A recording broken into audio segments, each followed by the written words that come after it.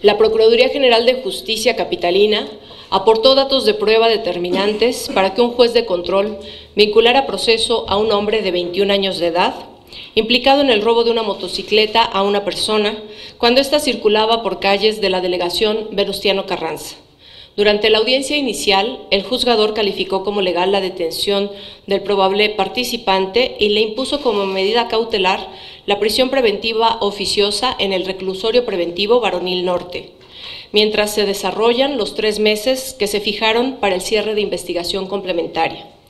De acuerdo con la indagatoria, el 28 de diciembre de 2017, alrededor de las 19.55 horas, el imputado, junto con dos cómplices a bordo de una motocicleta, interceptaron al agraviado sobre Avenida Central a la altura del metro Oceanía, Colonia Pensador Mexicano.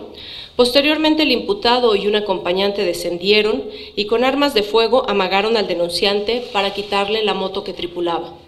Tras cometer el ilícito, el probable participante y sus copartícipes huyeron en ambos vehículos. No obstante, transeúntes que observaron el robo solicitaron el apoyo de policías preventivos a través del número de emergencias 911.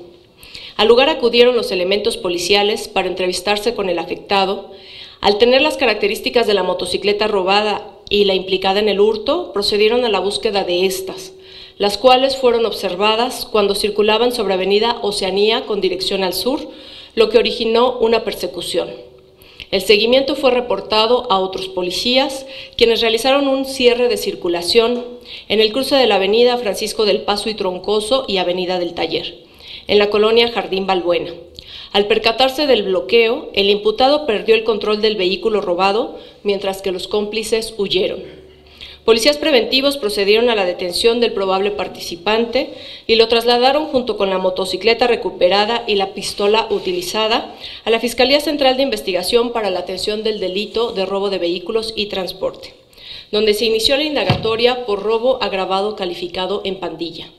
Al tener conocimiento de la captura del imputado, el agraviado acudió a la representación social, donde lo identificó como el individuo que lo interceptó junto con otros dos sujetos y lo amagó con el arma de fuego para quitarle la motocicleta.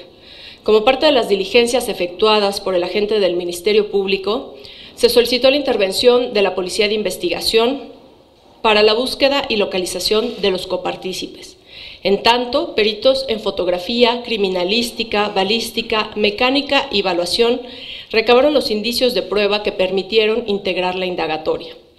Al desarrollarse las investigaciones, estas establecieron que el imputado cuenta con un antecedente penal por el delito de robo a casa habitación en 2013 cuando era adolescente. De encontrarse penalmente responsable del hecho que se le imputa, el probable participante podría alcanzar una sentencia de hasta 33 años de prisión. Durante el periodo comprendido entre enero a diciembre del 2017, el delito de robo de vehículos tuvo un decremento de menos 4.6% comparado con el registrado en 2016, mientras que el mismo periodo comparado contra el 2012 se observa una disminución acumulada de menos 39.9%. El 57.9% de los robos de vehículos en la Ciudad de México ocurren en cinco delegaciones que son Iztapalapa, Gustavo Madero, Coyoacán, Azcapotzalco y Tlalpan, de mayor a menor respectivamente. En tanto, el porcentaje de recuperación que se tuvo en 2016 se mantuvo durante el 2017.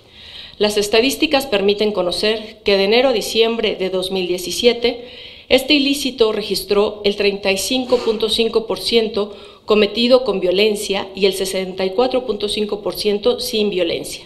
Además, se desarticularon 28 bandas integradas por 103 personas. Esta gestión ha logrado desintegrar 112 bandas delictivas integradas por 384 personas, lo que posiciona a la Ciudad de México en el lugar número 24 a nivel nacional.